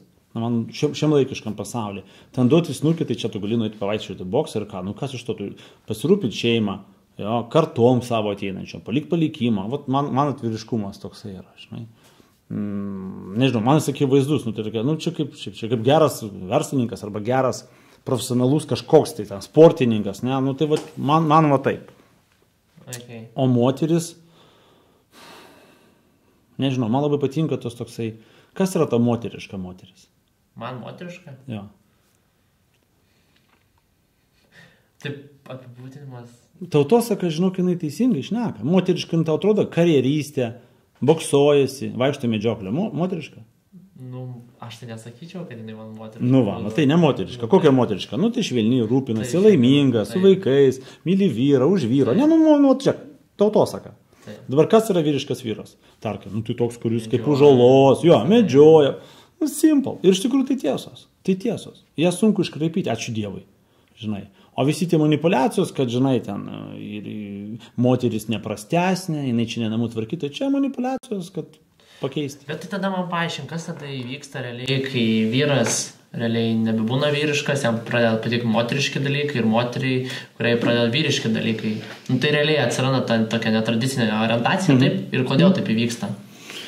Nu ir aš tai turiu keltis atsakymų. Pirmas tai turbūt avatarai, žinai. Avatarai tai yra esmė, kad jeigu mes tikime sielas, ir mes tikime, kad mes čia žaidžiam ir kūną gaunam tiesiog va, šiam gyvenimui, tu gali nepažaisti su kitu kūnu. Nu, koks skirtumas? Nu, žinai, žaidimas. Gali pasirinkti personažą. Mešką, liūtą, moterį, mergaitę. Nu, ką? Nu, tu pasirinkti. O kokia problema? Šiaip. Bet čia toks, žinai, nu, ezoterinis, ne? Taip. Jeigu prisiriš prie tos genetikos, prie tos fiziologijos kūnas, tai reiškia Dievo nėra, tai yra tik kūnas, nu tai keičiasi vidų energetika. Yra moteriška energija, yra vyriška energija. Ir tai akivaizdu. Jis keičiasi vidų, kūnas nesikeičia. Taip. Nes susitraukia kažkas, ne, nu ten ar išauga, ne, tiesiog keičiasi energetika dėl kažkokių tai problemų, nes mes patys viską kūrėm savyje. Ir nusprendė, kad negaliu, nevykėlis, mamos auklėjimas, taip toliau, nebuvo tėvo, net, ir, ir po truputuką mažėja, didėja moteriška energija ir tiesiog atitinkamai pradeda patikti moteriški dalykai. Arba moteriai atvirkščiai, jinai įsidarbina kompanijoje, auga kaip karjerą, ten reikia kovoti, ten dažniausiai vyrai kad su vyrais konkuruoti ir kovoti reikia vyriškumą skatinti. Jis pradeda generuoti savyje daugiau vyriškos energijos, mažinti moteriškumą ir tampa vyrus, trumpi plaukai, kelnės, tata ir jinai, nu, o, tokia, žinai. Nu, čia tokie baziniai dalykai. Tai realiai, pavyzdžiui, jeigu berniukas auga su mama didžiąją dalį, tai... Didžiulė rizika. Didelė rizika. Didžiulė. Taip. Bet jeigu mama samoninga supranta, kad tai yra, kad jinai nekaip, nega, moteris nekaip negali išauginti normalaus vyro nu, lyderio. Negali. Mūsų pasaulis, aišku, lengvas, nereikia kovoti. Gali būti aitišnikų puiku, gali būti Bill Gates'ų, Cikerbergų ir to nesvarbu, ten mačiutė gali išauginti, nu koks skirtumas, žinai. Nu, pasaulis dabar man patinka jisai, nes tu realiai gali, jokių problemų nėra realizuoti save. Bet jeigu įmama tokia prigimti, nu prigimti, tokia kaip sakau, aš dinozauras, senamadiškas, tai negali, nu tiesiog psichologija kitokia. Ir aš apie tai plačiai pasakoju, nu tai žinai, kaip mama auklė berniuką. Į kiemą išėjo, neprasidėk su šitais berniukais tu pas mane geras, nesimušk. Nu, irgi taip auklė. Taip. Kaip aš auklė čia arba vyras, nu, duok į snukį, ko tu pasidavė, varyk. Nu, skirtumas. Ir vyrų nereikia galvoti kaip auklė. Tiesiog tu pertik tą vyriškumą. Nu, taip yra. Kaip dabar mergaitė, jeigu bus dukra tėtis? Bus viskas, jinai bus viskas, jinai varyk, duok, įspirk, nepasiduok karjerą ir jinai, nu, nu, žinai, man tenka su žmonėmis dirbti, aš matau, kaip atina moteris sako, dieve, man atėtis auklė iš kosmoso, aš paskutinius dešimt metų bandau būti moterim atgal grįžti, žinai, džiaugtis, būti, žinai, nu, nu, tiesiog pajustą materiškumą. Aš nežinau, aš nematau tame problemą. Čia daugiau galbūt žmogus pasirinkimas. Žinai, jeigu nepaklaustum, kaip turėtų būti, o ką žinau, kaip norit. Svarbiausia suvokti. Samoningumas suvokti. Ar aš pakankamai, vat, nu, nu, tarkim, jeigu, žinai, pavyzdžiui, nu, žiūrėk, dizaineris, pavyzdžiui, vyras, nu, jis ir tai būna labai vyriškas. Kodėl? Nes dizainas, grožis yra moteris prigimtis. Taip. Vyro statyti, greut, kariaut, laužyti, jo, nes dažniausiai, aišku, ką sukuria naujo vyrai, nes jie yra pradas, jie eina, jo, jie tokie. tokie jie. Moteris tai gražina. Nu, sakykime, namą pastatė vyras grūbų iš sienų, o moteris ten užuolas, gražus spalvos, jos ten visi tie dalykai, tos atspalviai tų visų ten tų žolaidų, kurios nesuprantama vyrui, ne? Tiesiog, jeigu pradedi jau gerai gaudytis, jau energetika viduje. Ir tu subalansuoji energetiką, Jokia čia neliga, čia tiesiog subalansuoji, pradedi generuoti, nes paprastai daryti ten tiesiog daugiau grubesnius darbus ir tu susigeneruoji grįžti atgal. Jokių problemų nėra. O pas mus čia, žinai, trauma, psichologinė, psichiatrija, nu visą medicininę sferą uždirbinėja. Viskas. Ir tada visi kiti, kurie padeda realiai ir galima tai pamatoti, taip pat su visom lygom, jie visi šarlatanai, vad mes geri, bet kad kol kas tik daugėjo lygų. Per paskutinius 50 metų 6 tūkstančių naujų lygų atsirado. Nu, vad prašau, tai kaip. Nu, daug labai yra tokių. Nu, plati tema. Bet šiaip noriu pasakyti dar tokį vieną svarbų dalyką. E, jeigu žiūri, moter, nu, jeigu žiūri šeimos, kur vyras ir moteris, ir moteris galvoja, kad mano nepakankamai vyriškas vyras, tai tu kalta. Moteris valdo energetiką šeimoje jinai keturis kartus stipresnė už vyrą. Taip, šitą. Žinai, žinai jo, nu čia jo. Ir jinai nusprendžia, jeigu jinai galvoja, vyras nevyriškas, jis ten toks negali, aš padarysiu viską, jinai žaloja ir jinai valdo ir jisai... Ok, tada pagalvom, yra santykiai, ką moteris turi daryti, kad vyras auktų ir ką vyras turi daryti, kad moteris taip pat progresuotų.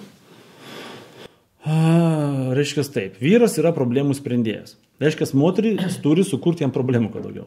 Realiai. Bet neburbėti, o sukurti neišvengiamų problemų. Taip. Mašinos nenuperka naujos, sudaužykit nacher tą mašiną. Ir nupirks niekur nedings. Jo, rankinukas suplyšęs, sakykit pavogė, išmeskit. Nupirks, telefoną sudaužykit. Ir jisai, nes jis problemų sprendėjas, kai nėra problemų, mes ką darom, gulim ant sofą, žiūrim teliką. Nu realiai, čia prigimtis. Prigimtis, kad tu turi saugotis, gal bus karas, gal reikės bėgti. Ir mes iškart saugojam. Nu, taip. taip. Ką moteriai reikia ir vyrams, sakysiu, moteriai. Labai sudėtinga užduotis su moterim, kad daryti. Žinot, ką reikia, tik tai mylėti viskas. Ir rimtai, nieko nereikia daryti, jinai viską žino. Pas ją prigimtys daug stipresnė. Jinai gimdo dėl to. Jeigu mes būtume, mes būtume aukštesnė rasė, nu ta nerasė, ta, jo, tai mes gimdytume, bet mus neduoda Dievas gimdys, o kad jo, tai eikit kariauti. Nu taip yra, moteris, jinai yra iš prigimties, jinai viską žino.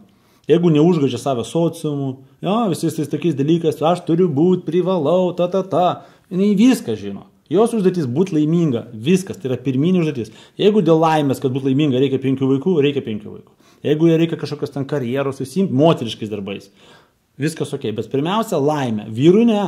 Nes jeigu jam laimė, nu tai ką, lūtis, krepšinis.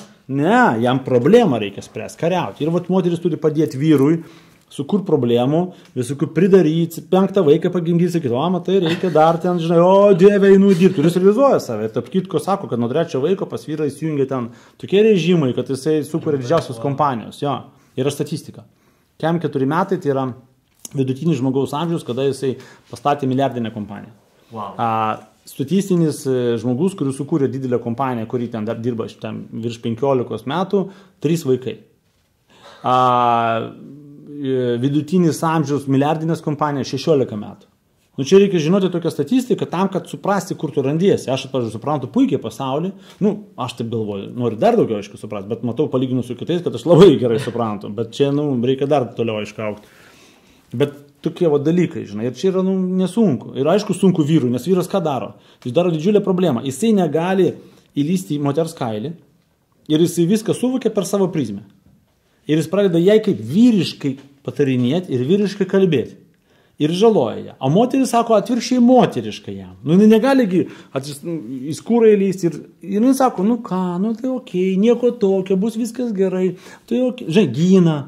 Labai daug neteisingų dalykų daro. Šitie jų durniai, šefas blogas, reikia sakyti, ne, klausyk, brangusis, tu vyras, tu viską įspręsi, viskas. Aš vyras, viską įspręsiu. Tai jų tai motivacija kokia. O sakau, jo, šie idiotai, čia tu tas šefas, nieko, tu pas mane fainas, prigul, palsiek, padarysiu valgyti, tiesiog sakai, o, nu gerai, matai, aš fainas, nieko. bet kas iš to? O moteriai atviršiai sako, eik daryk, uždirb, ką tu čia gyveni, aš už viską moku. Kas čia per nesąmonę? Tai jinai moteris. Jie nereikia nieko to daryti, žinai, turi nu, gyventi taip, jinai Nu tai va čia toks, nu, nežinau, čia sakau, begalinė tema, žinai, man patinka, jinai smagi, bet čia labai sunku. Žinai, pas mane teistiniai mokymai, kodėl? Nes neįmanoma nieko pasiekti per 2-3 valandas. Tikrai labai įdomu, pas tai mokymai trunka ten mėnesiais, realiai, Mėnesiais. čia. Taip. Wow, iš Taip. Tu, kad, žinai, aš, aš matai, realus žmogus, išanalizavęs visą tai. Ir pats mokinsiu, aš mokinuosi maždaug 2-3 valandas kasdien. Aš mokinsiu visą gyvenimą taip. Tai yra, nu, žinai, YouTube'as, knygos, ten visi, visi jojo, būtinai. Ir e, aš pamačiau, kad, nu, neveikia. Vienadieniai mokymai ten, aš nekalbu apie vieną valandą, jie jokio rezultato. Nu, čia kaip kina, pažiūrėjai, pamiršai. Jokio rezultato. Taip. Nu, kaip sporto salė, tu ginėtėjai kartą metuose, paspartuoji ir visus metus savo. Nu, taigi čia absurdas. Taip. Prandi, todėl, todėl toks, žinok, čia tik testiniai ir jeigu tu darysi, tu kaip podkastai, tu darai ir tu matai, kas vyksta. O dabar tu vieną padarai ir tu ką lauki to, ko. E, Visur taip. okay. Šiaip labai, labai įdomi ta santykių tema, nes iš tikrųjų aš pats jo irgi esu santykis ir vat, kai pradedi gilintis, pavyzdžiui, kodėl man vat, tokia problema iškyla, kodėl... Vat, tas- Nu, pavyzdžiui. Nu, pavyzdžiui, vat, dabar toks ir mano klausimas gims, aš pa- papasakosiu savo situaciją. Mhm. Tai esmė yra tokia, kad vat, kartais įvyksta tam tikra situacija ir tu nenori sutikti su moterimi ir tavo toks, tas toks ego, kad pasirodyti čia, tipo atsikalbinėti, žinai, tenais parodyti savo jėgą ir taip toliau. Tai paskui gaunasi, kad tavo ego taip išauga, bet tu žinai, kad jeigu tu pasakysi, tarkim, tam tikrus dalykus dabar bus dar blogiau, bus mm bum, sprogs mm -hmm. visas burbuos ir tu susipyksi su savo antrąją pusę ir jo. taip toliau. Tai va aš vis bandau ieškoti atsakymų, kaip taip spręsti, kaip per savo tą ego perlipti ir galbūt nepasakyti tam tikrų žodžių, pabūt ramus, galbūt apeisiu situaciją. Ar čia yra nėra, geras nėra sprendimų šiandien. Ką tu dabar pasiūlyi, nėra. Vienintelis, ką aš radęs, ir aš susitaręs su žmonomis, kai vedėmės, dėl to ir vedėm, kad mes susitarėm, kad tai bus. Reiškia, niekada nieko nenutilėti. Čia yra visiška nesąmonė, kaip pasakoja, čia reikia ne viską pasakyti. Toliau. Tai čia artimiau, nėra artimesnio žmogo negu žmona. Nėra artimiau. Tiesiog net tėvai neartimi tokie. Žmona. Tai jeigu tu net jiem nepasakysi, nu jai ar jam, tai apie ką mes šnekame iš vis? Tai tu sugriauši save. Ir todėl reikia kalbėti. Bet mes pasirinkom tokį dalyką, kad mes nepaliksim ne vienos, ne vienos situacijos neįspręstos. Mes kalbėsim apie ją savaitę, kol neįsiaiškinsim. Ir įsiaiškinsim tiesą. Ir mes atsiprašinėjom, būna aš šimta procentų galvoju, kad aš teisus. Nu, dažnai aš būnu labai teisus, ne, nes mano darbas toks, bet būna aš, aš sakau, su, nu, rimtai, po 3 dienų, 4 man daina, aš galvoju, blemba, neteisus. Tu buvai teisy, viskas ok, ir jinai nesidžiaugia, tam, ha, žinai, ne, būna, kad jinai, žinai, irgi ten, ne, tikrai, nu, žiūrėk, moteris, emocijos ten, o paskui, Taip. kai tai nepraeina, sako, Jo, tu buvai teisus, mes nu, niekada nepalikti. Ir mes viens kitą kankinam, kad nepaliekam, neužmirštam, įsišnekam. Vienintelis įsigelbėjimas, kito aš neradęs, žinau. Gal pavyksta kitiems nutilėti, aš neįsivaizduoju. Gal. Kaip manai, kodėl a, santykiuose moteris dažnai, nežinau, ar tai dažnai, galbūt per daug drastiškai sakau, bet nepasitikė savimi. Nu vėl, žinai, nepasitikė palyginus su kuo. Save penki, penktoje klasėje ar, penkioli, ar penkiolikos metų, žinai, nu čia vėl. Ne, nepasitikė taip, kaip jinai įsivaizduoja, turėtų savim pasitikėti. Pat gali ir taip. Bet čia lūkesčiai gal. Va. Gal čia iliuzija. Va, tai šis kartais, kartais, tarkim, tam tikrą savo tiesą sakau ir galvoju, blemba, taigi čia mano, taip aš matau pasaulį, o Būtent. gal visiškai. Tavo mato. pasaulio suvokimas yra vienoks, Taip. pasie kitoks. Ir tau atrodo, kad turėtų būti taip, o jei taip. Ir va čia yra kova, konfliktas. Vat, kartų konfliktas būna, kartu, vat, su tėvais. Mes reikalavome iš tėvų to, ko jie iš principo net negali nei duoti, nesukurti, nepadaryti, nesuprasti.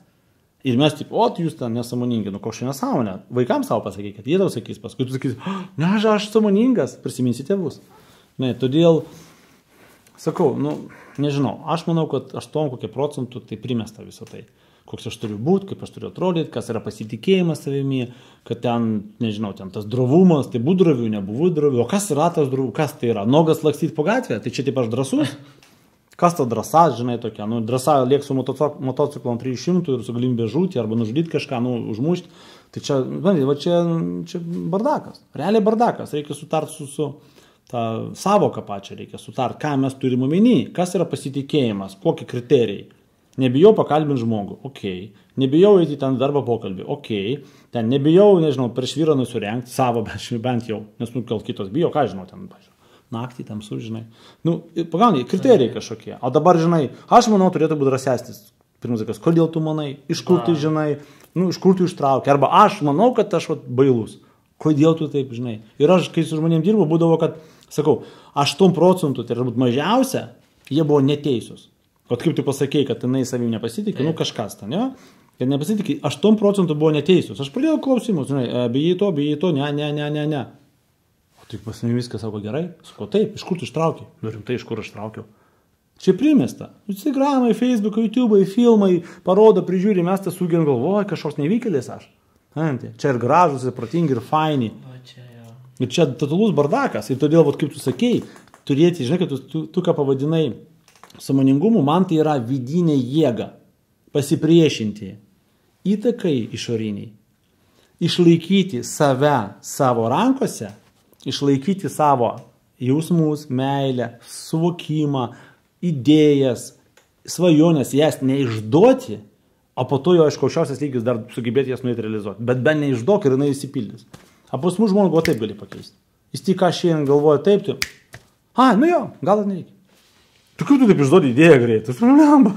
tu, bent kažkaip, tai ką žinau, o ką ne, nereikia? Suprantate, net stiebo nėra, nu, tas šerdės, žinai, šerdės. Taip. Tai va čia yra, todėl, žinok, nu, vat, visiems tavo patkastiečiam, kas ateis pas tave, visi pažiūrėkit šitus žodžius mano. Ne, neįsivaizduokit ir neįsigalvokit apie save. Su jumis dažniausiai viskas yra gerai, jūs esat kažkokiai savo vystimosi kaip asmenybės stadijoje, laiptukė ir čia viskas ok. O jūs iš karto įsivaizduojat, kad jūs turite būti kažkokie tokie ir nuo to kenčiat. O tai yra visiškai netiesa. Yra tiesa, kad ten turi plus 100 kg svorio. Tai yra problema. Ir nėra jokiam tam pasiteisinimo. Tu žaloji savo organus, vidinius, širdį, sanarius, viską suėdi. Nėra jokio to, kad aš putlus fainas. Čia brėdas. Jeigu tu uždirbi 300 eurų, tai yra šūdas. Tai yra blogai. Tu gali daugiau. Tai yra faktas. Jokio pasiteisinimo. Čia yra, kur jisai, jisai teisus. Bet yra tokia, kaip žinai, aš negražus. Davai, pasidaryk plastinių, pakeis vedę, tai tu, tu net nesurasi savo antros pusės, nes tu pasikeisi, o jis skirtas tau, kad įsimylėti tave, koks tu esi. Vat būtent toks, sinchronizacija, žinai, vat visatoje, sinchronizacija yra. Taip. Ir tu nesinchronizuojasi, nesukom, todėl kai tu, o čia santykiai, reikia būti visiškai, visiškai savimi ir tada sutiksi visiškai savo žmogų.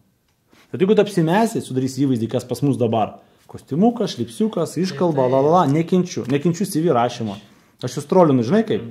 CV rašymo kursai. Sakau, ką tu ten nori parašyti, ką tu nori apgauti? Tai rašyk, nevykėlis, nepavyko, išmetai iš darbo, tiesa. Ir tada bus, koks šis įrašymas, čia paslėp, čia gražiai, čia ta, ką čia per bulšėtas. Nu, pagalvokit pasaulis, feikinis. Jis feikinis. Jis labai stipriai feikinis. Plius aš kai esu dabar mokykloje, nu galbūt tenais aš, kur mokausi šiek tiek už miestą yra rajonas, galbūt šiek tiek tenais dar žmonės yra paprastesni, nes galbūt, nu, yra tas savo tam, tam, tam kaip pasakyti, blokė, kur gal Mhm. neišvažiuoja į miestą, gal neišvažiuoja į užsienį, gal net tiek... Nu, savam pasauly Taip, tokiame. savam pasaulyje. Bet kosmosas, aš per savo gyvenimą esu pakeitęs septynės mokyklos ir aš esu tiek matęs vaikų. Rekordas, argi negirdėjęs. Ta prasme yra, nu, man daug teko keliauti ir taip toliau, bet esmė, kad tiek feiko, tiek daug vaikų bando iš savęs pasakyti tai, kas jie nėra. Iš tikrųjų, ypač, ypač berniukai tenais. Oi, aš šitai panelį nepatiksiu, nes aš galbūt tenais nesu pakankamai raumeningas, ne, nesu pakankamai ten gražus, nepakankamai atrodo Mhm, gražiai ten mhm, apsirengęs ir mhm, taip toliau. Ir tenais, okei, okay, nueina kažką nusipirka papigiai, žinai. Mhm. Ko nekenčiu, ble, čia iš vis, va, ko aš nekenčiu, Nu. tai marozų su gučia arba ten kažkokiais treningais. Kodėl? Ta prasme. Kaip tai, kodėl? Hebra apšie tenais nusipirka iš gariūnų tenais už, nežinau, 10-2 eurų tenais tuos e, gučiai. Jeigu dar kokį bemsą, bemsą susiorganizuoja iš kažkur, paskui fotkės Facebook'e ir tik, o, ateikit A čia. daro dar iki šiol taip? Jezus, ten kokių grupių tik tais nėra. Rimtai, va taip, aš galvoju, užaugo viskas, kart, ne, Yra kažkas kartas kartojas. O tai aš iš Kauno. Aš turiu visus BMWs, kiek įmanoma turėti modelis. Nu, ten to perėhodo, kur tu nebuvai gimęs, ten iki visko. Nu, galbūt tu nepirkdavau, žinai, bet tu turėdavau tikrai treningų visko. Nu, tikrai, nu, aš gimiau ten, žinai, Tarybų sąjungoje. Jo, nu, galva irgi nusiskutęs nevaikščiau. Nebuvo Forsas, Marozas, Marozas, jo, kaip sako, ne, bet, nu, vis tiek, sportininkas, kaunietis, Taip. ten kitaip tu negali, žinai. Nu, sakykime, ne. Bet, žinai, kaip ir aš apie tos visus brandus ir toliau, žinai, iš tikrųjų įdomiai. Aš kažkada žiūrėjau, kažkur mane tai šiek tiek užkabino apie tai, kad e, kažkas mato tame minusą, tame kontekste, kad kad, e, atsiai, tu imi tai, ko tu nenusipelnai. Ką sako apie leasingus kreditus. Taip. Jeigu tu turi pinigų mašiną už ten tūkstantį, o imi leasingą ir perki už 20, tai tu realiai, nu, Nu, prasikerti. tu, tu, tu nenusipelnai to, atitinkamai tau problemos pastovi būna, negali išsimokėti, pinigų trūksta, ten kas nors atsitinka, pyksti ant bankų, tu kreditų ir toliau, nes tu imi tai, kas ne tavo Taip. lygmenį. Bet iš kitos pusės, jeigu naudoti tai kaip instrumentą augimui, siekti daugiau, kad pakilt, tai tinka. Jeigu tu pasirinkai tai. Tai vat kaip metodika, aš net kitiem taikau. Jeigu tu, nori progresuoti, nori aukti, nori daugiau, okei, okay, davai, varyk į viršų. Ką, e, viršink savo galimybės. Bet sakau, tu kai viršy, tu atsirandi tam lygiai aukštesniam ir tu pradedi mąstyti kitaip. Ir to ateina kitokie sprendimai ir jie visi žik pasitempia, bežin pasitempia, blamba veikia kaip. Tai čia metodika, žinau, aš tą naudoju. Bet jie gal pasąmoningai tą suvokia, kad taip galima kažkaip savo lygį pakelti. Tik tai, nu, daro tokiu momentu, jie, nu, tai žinai, ma mažoriškai, kaip ten, maroziškai. Taip, taip. Nu, iš vienos pusės sutinku ir iš kitos nedrįstu, nes, tarkim, tu pavyzdžiui, tu prieės prie to Marozo, tarkim, tu iškart su juo per, per, per pirmą minutę tu gali suprasti, kad tikrai čia nėra tas, kur nori kažkur tobulėti, nu, tu iš karto. Nu, man irgi klausimas būdavo, žinai, kaip ir sako, tie milijonieriai ne visi geri ir faini ir protingi ir nepavogė, neprivatizavę ir taip toliau. Ne, ne visi. Ir galbūt irgi tie patys morozai, bet, nu, jie matyt auga kažkokia savo, savo pasaulio dimensija. Žinai, nu, vieni politikai yra auga, kur politiškai ir tam kažkam jie patinka, kažkam ne. Jo, a, yra kažkokie meniniai, pavyzdžiui, meniški, mano žmona menininkai, ne, ne, kažkaip kitaip auga, kažkokios ten parodos, ten paveikslai, kažkas, nu, žinai, kas man gal kaip būčiau morozas, sakyčiau, kažkokia čia šūdą čia pardavinėja. Nu, žinai, galbūt, jo, o kai sakys, wow, nu, žinai, yra įvairių tai sportas. Ne, pavyzdžiui, kitam kažkoks sportas save žaloja, ten, sakykime, ne, čia tik sportas, apie tai galvoja, čia nesąmonė, žinai, ten, ka- kas bus, kai karjerą baigsi. Žinai, nu ir kažkas, vėl paralelių metodą, žinai, palyginti, nu tiesiog jis to gal nepriimtinas, susisidūrymą, tai, žinai, tai faktas, kad tai nėra gerai, jeigu tu žinai, kad nieko nėra gerai, kai tik tai ten, Taip. kai sportininkai profesionalų žaloja save, kaip marozai žaloja save ar kitus, nu, žinai, nu, politika kaip ten vagia ar kažką, ne visigi, ne, bet tai yra, žinai, nu, tu matai matyti tą pusę. Jo, nu man irgi visada jokino, jo, tas aš, aš kažkaip greitai išaugau, tą teko patirti, žinai, nes tai buvo aplinkui, tai takoja ir tu, nu, nenori įsiskirti kažkaip taip ir tu galvoji, nu, tai kaip ir aš taip pat, nu, tai kaip aš, žinai, nu, ne. Ja. Tai va, la- labai čia tas toks, kaip, kaip aš tau pasakau dar prieš pat pokalbį, kad kai, kodėl pradėjau podcast'ą, nes mm -hmm. aplink mane buvo ne tie žmonės, kurie manęs nevedė tikrai į viršų, dėl to ir pradėjau šitos podcast'us. Tau buvo instrumentas, jo, pakilti. Tai, taip realiai, čia toks įrankis, kitaip sakant, ir kuris tie galimybę, nu, per keturis mėnesius tie galimybę atveria, kad taip, yra kosmosas. Aš tokio progreso per gyvenimą nesu niekada padaręs. Mhm. Realiai, tai va. Uh, Atsakykime mano tokį klausimą, kur yra galbūt amžina paslaptis žmonėms, tai kas yra meilė? Nu, iš tikrųjų, jau turbūt atsakinėjau daug metų, žinok. Man akivaizdu, žiūrėk, dabar duosiu tau testą tokį, bus labai įdomi. Okay. Um, įsivaizduok, turi vaiką. O ne, geriau prieš tai. A, kaip tu manai, kai myli, duodi ar gauni? Kai myli? Jo, nu, tu sakai, aš myliu. Tu duodi energiją, emociją, ar tu gauni? Sakyčiau, sakyčiau, kad gaunu, bet aš iš kitos dabar pusės pasakyčiau, kad aš iš tikrųjų duodu. Tai kaip visgi, duodi ar gauni? Aš duodu, dabar šioje būsinoje sakyčiau, kad aš duodu. Ok, žiūrėk, dabar pavyzdžiui, žmonės neteisingai suvokia meilę. Ja? Meilė yra energija. Nu, tu supranti, kad jeigu aš myliu, tai tu negali sakyti, pirštas myli. Ja? Kažkas manyje, vat, vat, ne? Taip. patinka. Kas, ką reiškia patinka?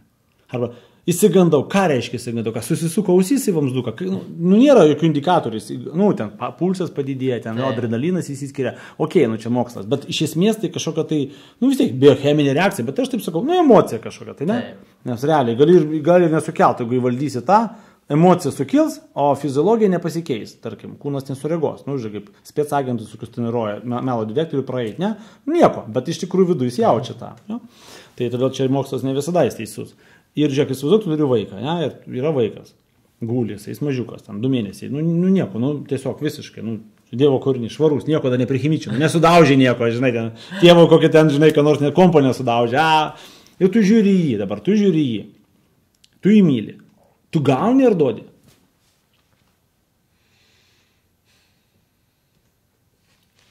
Čia toks sunkus klausimas. Nu, bet kaip tau atrodo?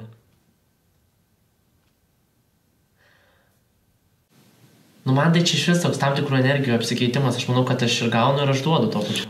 Nu, taip, bet žinai, kuri pirma energija tada? Tu vis nori nusisu, išsisukti iš to, iš atsakymo, žinai. Mokausi Nu, tiek. Jo, jo. Tai esmė tai aš galvoju, kad man bent atrodo, kad aš duodu. Ok, tu neteisus. Neteisus. Aš gaunu pirmiausia. Taip, žiūrėk, kada tu myli, nu žiūrėk, tarkim, tu vat, neturi antros pusės, sėdi kažkur su draugais, ten geri arbatėlė vasarą. Yra nedaug žmonių.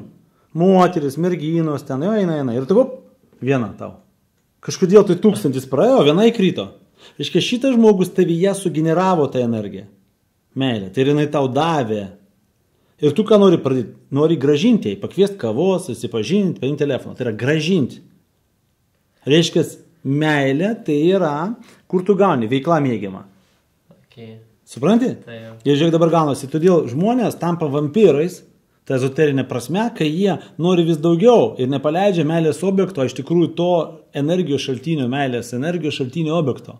O jie neturi nepaleisti, tiesiog turi duoti atgal, o jie nustoja duoti. Jie sako, duok man, o aš to špygą. O reikia duoti. Todėl aš sakau, kai tu kažką myli, tu skolingas. Supranti? Ir todėl, kai mes moterį mylim, nu, aš iš vyriškos pusės dominuojančios tokios, sakykime, ne? Nu, vienoje pusėje dominuoja, kitoje moterį, žinai, bet iš esmės nėra absoliuto dominanto ar lyderio, nėra tokių dalykų, žinai. Bet iš esmės, reiškia, jeigu man patinka, jinai jau man sugeneravo, aš šitą turiu, nu, gėlės, kinas, taip toliau. Ir tada vėl mane džiugina, akis žyva. Ir, ir va apsikeitimas. Problema, kada baigėsi meilė, kai tu nutraukia kažkas. Nu, tiesiog nebedoda. Nu, čia ezoteriškai. Įdomus rakursas. Bet tu pabandyk patyrinėti, pamatysi, kad tai yra faktas, žinai. Yeah. Įdomiai. Aš esu tokį girdėjęs dalyką, nežinau, tu pat... čia tau ir klausimas to pačiu, tai kad esu girdėjęs, kad e, meilė baigėsi po trijų metų. Kodėl? Nu, Čia aš, tiesa, man tas klausimas taip užnysiu, kad aš nerašiau į sportą, kad dar prisimenu prieš keturis metus ir rašiau iš sporto, jau ir video rašiau. Aha. Ir įdėjau ten live ar kaip. Taip. Sakau, draugai, žiūrėkite, nu vienas iš, iš tokių, kokį gal apie šiam, šiam 5 procentus e, baigėsi po 3 metų, kodėl. Mes, kai sukūrėm santykius, mes apsimetam. Tai yra, nu aš geras, aš atsakingas, aš toks, nu, kultūringas, ir mes apsimetam. Ir mes tą kaukę laikom kurį laiką. Nu, laikom, laikom, laikom. Ir paskui mes pavarstam laikyti ir mes parodom tikrą savę.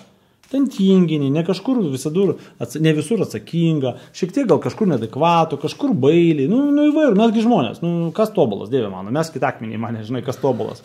Žinai, ir laiku bėgant mes ten, žinai, vyras pradeda bezdėti, nosį krapštyti, kojas išmėtyti. Ir ką tau sako moteris? Aš galvoju, tu kitoks, tu pasikeitei. O reikia sakyti, aš nepasikeičiau, aš nusėmiau kaukės, Taip. nes aš jau pavargau jas nešioti. Todėl va draugai visi, kas mus žiūri, nenešiokit, būkite savimi, tiesiog pripažinkit savo, nu taip, mėtau koinės, bezdų, nu nežinau, bet ką. Nu ir ką, nu aš stengsiuosi pakeisti, pasikeisti, nu man iškart neišeina. Nu aš studentas, moksleivis, dabar negaliu nusipirkti originalių gučių, nu tai vaikščiau su paprastais, žinai. O kai užsidirbsi, nusipirksi, kam va tą daryti. Ir todėl meilės yra viena, viena iš tokių problemų, kad tas įvaizdis, tas kaukės jos nešioja ir pavarsi, tu negali apsimetinėti visą gyvenimą. Ir va todėl, va, viskas. Bet tai kas tada lieka po, tru, po tų trijų metų santykius? Prisirišimai, skolos, netidirbtos karminės pamokos, nepradėtos situacijos, gyvenimiškas pamokos. Tiesiog paprasčiausiai ten. Vėlgi, jie negyveno kaip mes dabar su žmona gyvename, kad nieko ne, nežinai, o, pažiūrėjau, tu ten įsiskirtume mes, tai taip, o, nu ką, mes, aš nieko ne, nemanau, kad jinai man skolinga, jinai irgi ne, atidaviau tiek laiko tau. Nu, nėra, nes mes tą pradirbam. Žinai, jeigu aš ten jaučiuosi, kad aš daug darau, o jinai man, tarkim, nedaro daug, aš, aš nusakau, aš jaučiuosi, kad, nu, kažkaip per daug, davai darom. Arba ten jinai sako, nesijaučiu laiminga. Ką, kodėl? Žiūrim, žinai, tai, nu, pagauni idėją.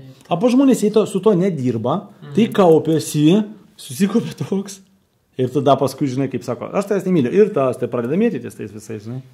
A, tu va ten, ir tu paskui išgirsi, aš kad neturėjau jų santykių, žinai, sako, ir tas pas tave, ir tas, o aš taip sėdžiu, žiūriu, o tu ko tu mane sakei?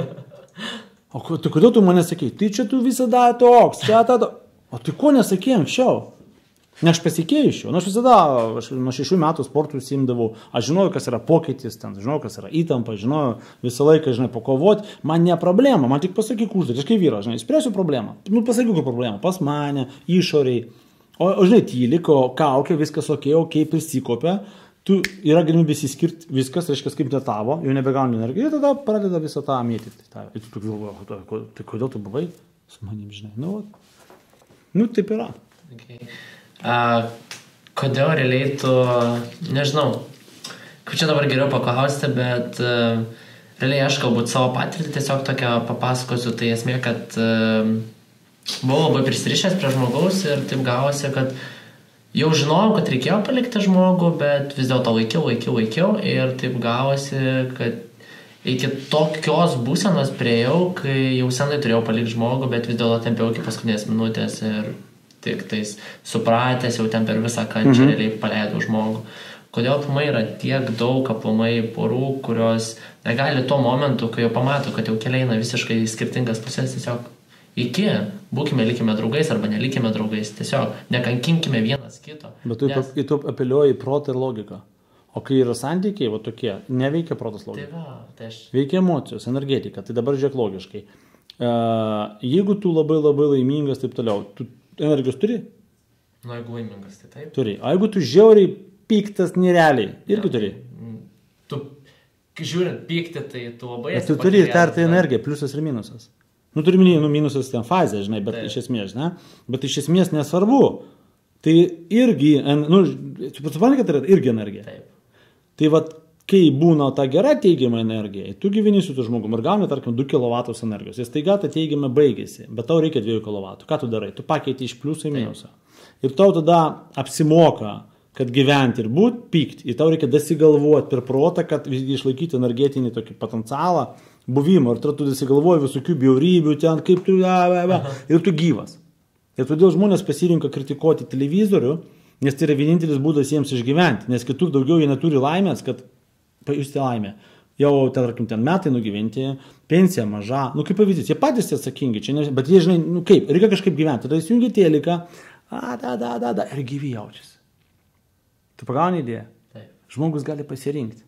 Žmogus gali prisimti, jis gali teigiamas, geras emocijas savyje, bet tam reikia kūrybą užsimti, iššūkių naujo, didžiavimas su savimi, meilė savo, nemeilė kitiems, rūpestis kitais, ir tu kaifuosi, tu sakai, wow. Bet tu to nepasirinkai, pasirinkai ken, kritikuoti, jo, ten žalo, nu, net emociškai gali, emociškai, nereikia tik fiziškai, ne? Ir tu gali, va, ir tu ieškai, laikžiai paskaitai, va, vėl vagis, va, apvagė, va, pensijas ten sumažino, va, vaistai, va, numirė, babutė užkapojo su kirviu, a, va, niekšai, bet tu gyvas, nu, tu energijos gygauni, tu jau tik aš pasakoju apie tai, tai žmonės taip gyvena. Suprantate, ir čia yra pasirinkimas. Ir kol žmogus to nesuvoks, ką aš bandau irgi pasaulį papasakoti, kiek įmanoma, žinai, Tol jisai nevaldo savęs, nevaldo savęs, nu viskas.